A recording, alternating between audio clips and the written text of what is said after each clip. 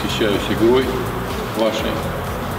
Хочу, чтобы у нас был результат, у нас были достижения, чтобы мы могли красиво подвести итоги этого сезона. Приятно получать цветы всегда, тем более в преддверии такого праздника. Нам, девочкам, всем женщинам это всегда очень приятно. Мужское внимание, внимание нам как спортсменов, болельщиков, наших руководителей, Министерства спорта и спонсоров это всегда очень приятно.